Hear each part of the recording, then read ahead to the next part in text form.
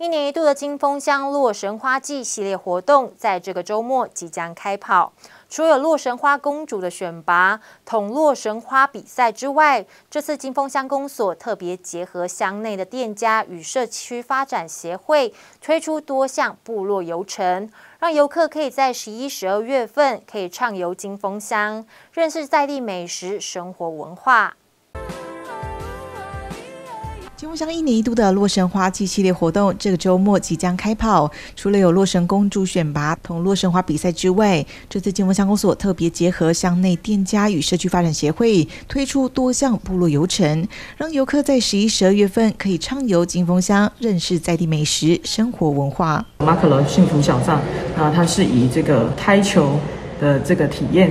为主，当然有配合一些阿白的体验呐，能呃动手做午餐呐等等，还有我们的生态导览。嘉兰社区发展协会呢，其实呃主要就是针对这个攀树的一个体验，那还有这个呃弓箭的一个制作，来做一个导览的一个。主轴规划，甚至还有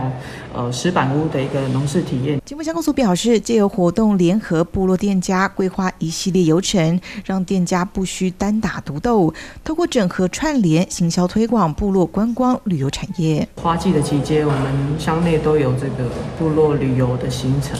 那公所这边呢，是扮演一个呃辅导的角色。那我们希望这些游程呃能够借由公所这边来做一个包装，然后也做